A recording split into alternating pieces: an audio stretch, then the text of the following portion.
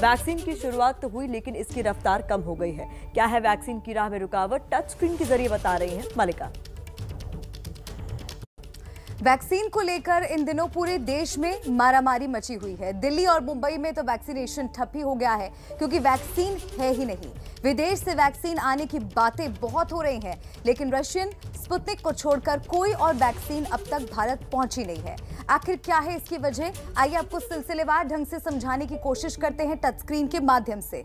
तो विदेशी वैक्सीन मिलने में आखिर दिक्कत कहाँ आ रही है? पहला मुद्दा जो माना जा रहा है, वो ये है क्षतिपूर्ति का जो पेच फंसा हुआ है। वैक्सीन से नुकसान पर कौन करेगा भरपाई? इसको लेकर पेच फंसा हुआ है फाइजर ज़िम्मेदारी नहीं ले रही। भारत सरकार इसकी ज़िम्मेदारी ले, ये कहना है फाइजर का।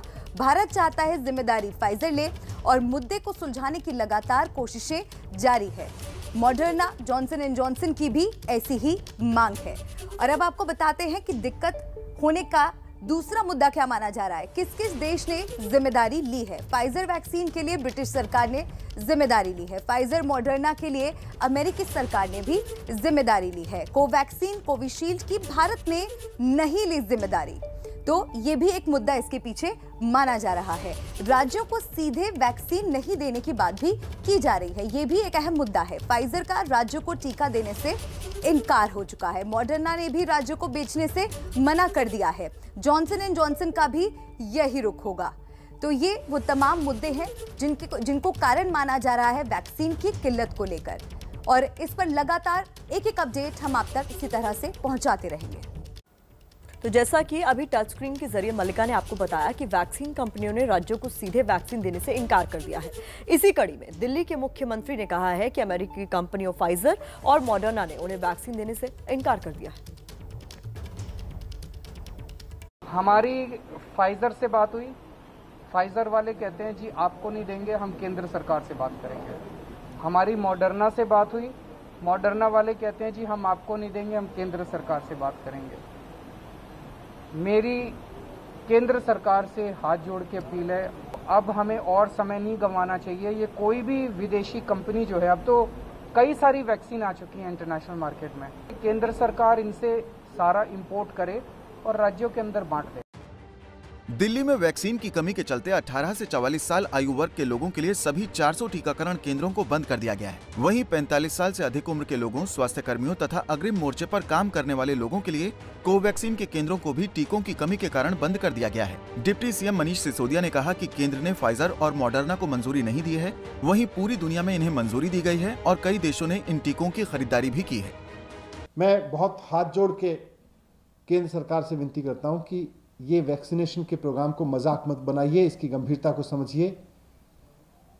ऐसा ना हो कि जब आप वैक्सीन लेके आए, तब तक समय निकल चुका हो और जिन लोगों को अभी तक वैक्सीन लगी है, उनकी एंटीबॉडीज भी खत्म हो जाए और उनको भी दोबारा वैक्सीन लगाने का नंबर आ जाए। दिल्ली ही नहीं, पंजाब भी एक दिन पहले यही बात कह चुका है कि उसे इन दोनों कंपनियों ने टीका देने से मना कर दिया है। यानी वैक्सीन को लेकर केंद्र और राज्यों के बीच एक बार फिर जंग छिड़ने के आसार हैं। चलिए आगे बढ़ते हैं और अब बात करते हैं उस वैक्सीन की जो है तो विदेशी, लेकिन उसका निर्माण अब देश में ही शुरू हो गया है। जी हाँ अब देश में स्पुतनिक वैक्सीन का उत्पादन शुरू हो चुका है, लेकिन दिक्कत यह है कि अभी इसके लिए लोगों को थोड़ा इंतज़ार करना होगा। कोविशील्ड, कोवैक्सीन और अब बारी है स्पुतनिक की। जी हाँ अब देश में बनने वाली वैक्सीन में स्पुतनिक का भी नाम शामिल हो चुका है।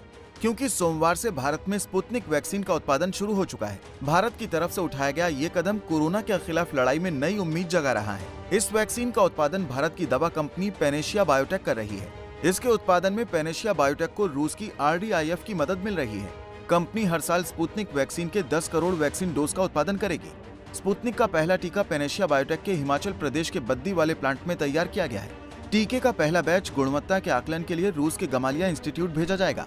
और वहाँ से मंजूरी मिलने के बाद भारत में इसका व्यापक उत्पादन शुरू हो जाएगा। और इसी के बाद ये भारत में बना टीका लोगों को भी मिलना शुरू हो जाएगा। मलिका हम लगातार वैक्सीन को लेकर अपने दर्शकों को अपडेट दे रहे हैं। वैक्सीन कब लगेगी कैसे लगेगी इसको लेकर देश भर में चर्चा हो रही है। अगर आपको वैक्सीन नहीं लगी है तो जो खबर हम आपको दिखाने जा रहे हैं वो आपके बेहद काम की है। टीकाकरण अभियान को मिलेगी अब नई उड़ान। राज्यों की तरफ़ से दिए गए सुझावों के मद्देनजर 18 से 44 के आयु वर्ग के लिए केंद्र सरकार ने बड़ा निर्णय लिया है, जिसके मुताबिक ऑनलाइन स्लॉट में अगर लोग वैक्सीन लेने नहीं आते हैं और कुछ डोज बचती है तो साइट पर रजिस्ट्रेशन कर वैक्सीन दी जा सकती है। कोविन से एक मोबाइल नंबर के साथ चार लाभार्थियों के रजिस्ट्रेशन हो सकते हैं, जिनके पास इंटरनेट या स्मार्टफ़ोन या मोबाइल फ़ोन की पहुँच नहीं है, उनके लिए कोहोर्ट की सुविधा भी दी जा सकती है। कोहोर्ट समूहों से संबंधित लाभार्थियों को टीकाकरण सेवाएँ प्रदान करने के लिए पूरी तरह से स्पेशल सेशन भी आयोजित किए जा सकते हैं। केंद्रीय स्वास्थ्य मंत्रालय ने सलाह दी है कि टीकाकरण केंद्रों पर भीड़भाड़ से बचने के लिए ऑनलाइन साइट रजिस्ट्रेशन और अपॉइंटमेंट शुरू करते समय सावधानी बरतना ज़रूरी है, क्योंकि ऐसे में भीड़ होने की आशंका है।